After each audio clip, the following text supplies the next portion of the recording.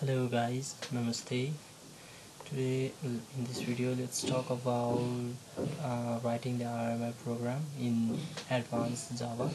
Uh, there are a few things that you got to understand while uh, preparing or writing a Java program which I have listed here.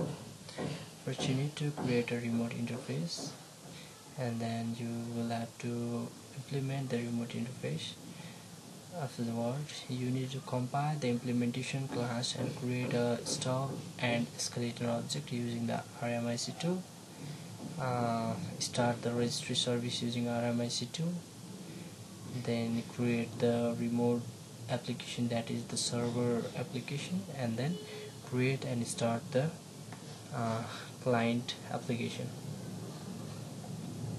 So uh, let's start our program. First you need to create a remote interface.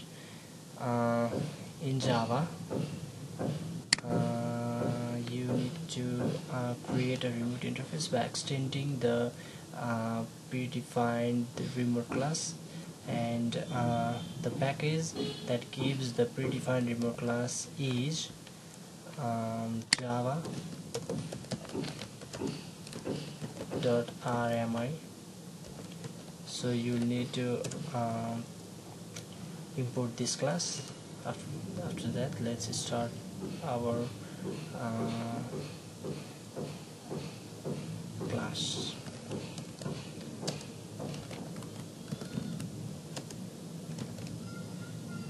I will be giving this interface name as inter and will be extending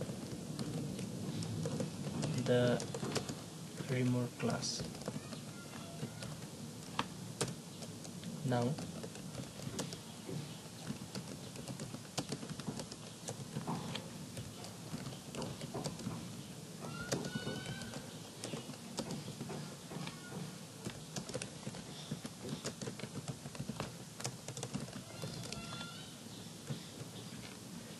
here I am creating a method double add. But I'm not starting this method or I'm not uh, assigning any body to this method because interface can only have an empty method call so let's start and let's save this as uh, inter.java so you have created a remote interface. Now you need to implement the remote interface. Now let's create another uh, file. And let's save it. Okay wait. Import java.rmi.asterisk first let's save it giving the file name as implementation for implementation impl okay now again you have to import java.rmi.server.asterisk for the implementation of the remote class. Now public class info extend unicast remote object this unicast remote object is the predefined object uh, let's say predefined class given by our uh, RMI and now let's implement the inter class or say inter interface sorry inter interface. And create constructor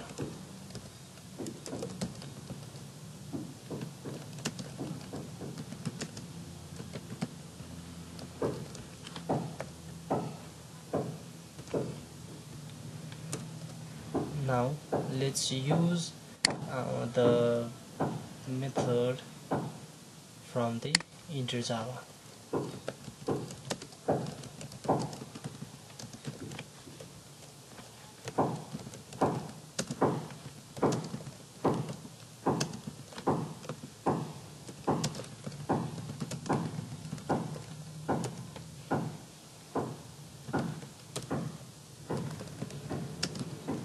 and define the body of dish. Now let's save this as well. Now we have uh, implemented our the remote interface as well. Now the third part it says is compile the implementation class and create a stub and skeleton object. Uh, let me do this point number three at last. Uh, for now let us skip this part and do number four. Uh, oh not number four. Let's go to number five remote application. Okay. Uh, remote application means it's a server right? So uh, let's import java rmi as well as uh, the java rmi server. Okay. Let's save this as server java. And start its coding.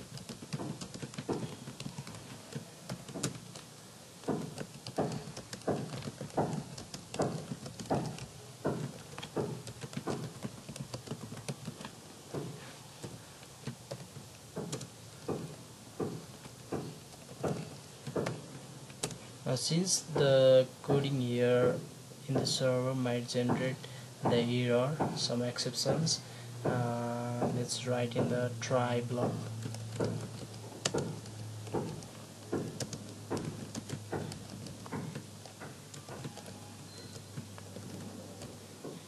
This is how we are making the server a remote system.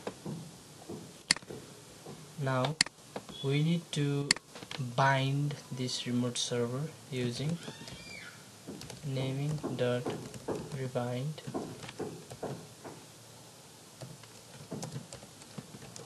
sorry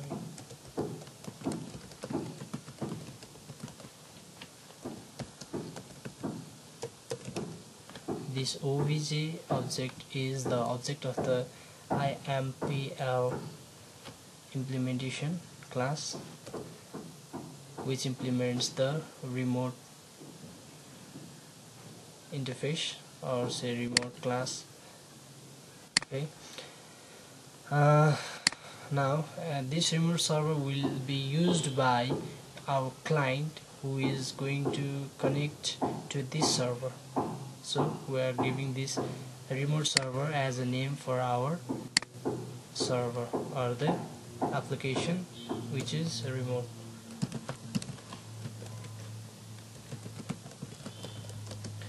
you need to catch the exception.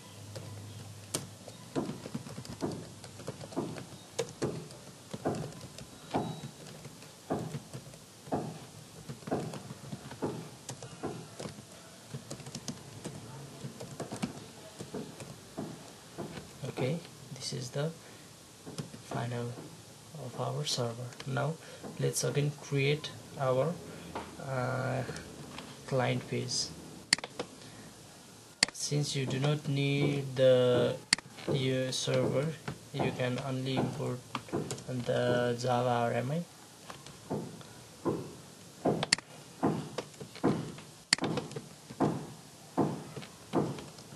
let's save it.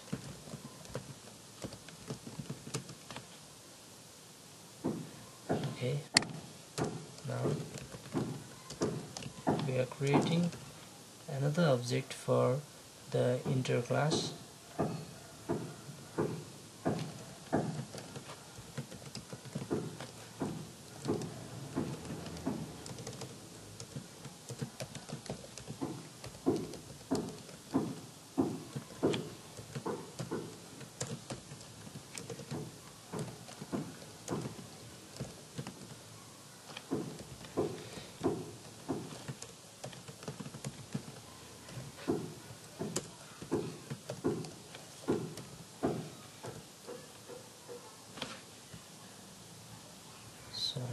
closed here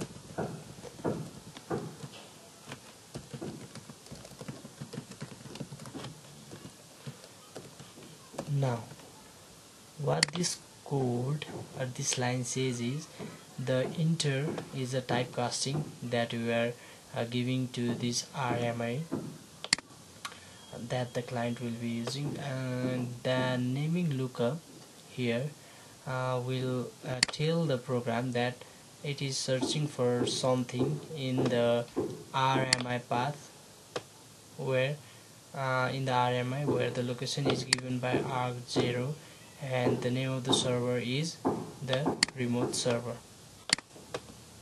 Okay now the arg0 here will be consisting uh, will uh, be keeping the IP address of the server that the client will be searching. So the client will connect to the IP address that the AR0 will be carrying.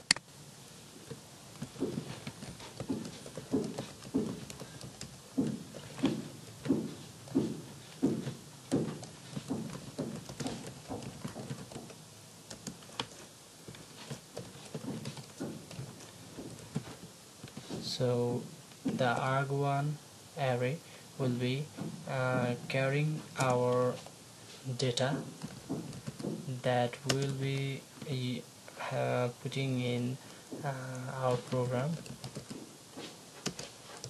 Since the value is double we will need to uh, grab the value as double from the args 1 array which is of double value.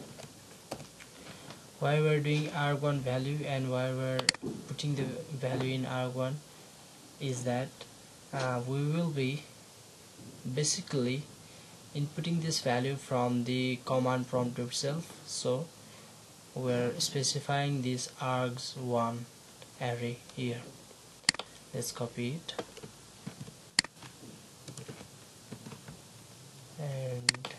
write the second number here. The value is arg2 we have 2 d2 and finally the output. Now this part mm, as sum. Sum is obj dot add d1 comma d2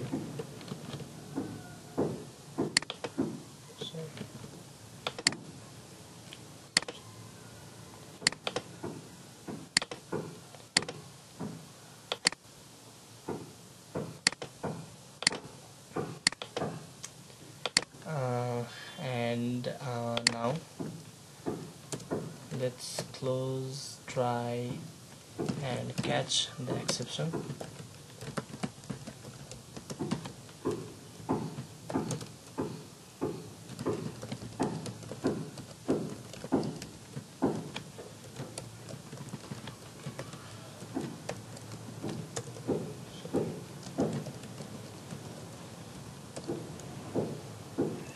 and close respectively so this is the end of our coding. Now let's compile it. Um, where we have stored it? Uh, cd desktop slash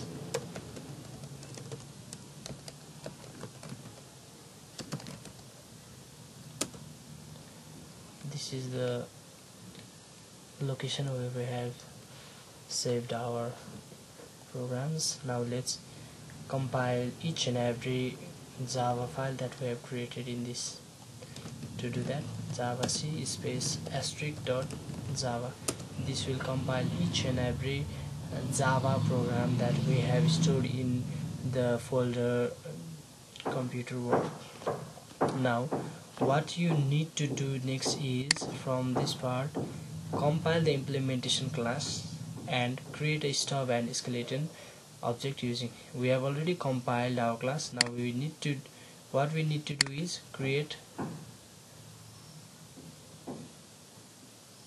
the skeleton and stub using RMIC for that follow the syntax as RMIC INTER dot java. What will this be doing is creating a stub and again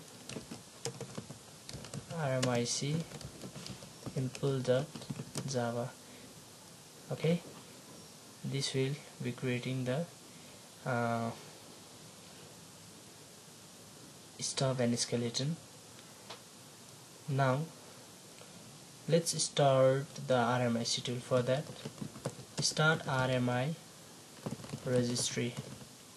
This will be starting a RMI registry for our RMI application. Let's minimize this and let's open another uh, command prompt as well. And let's go to the respective location. That is mm,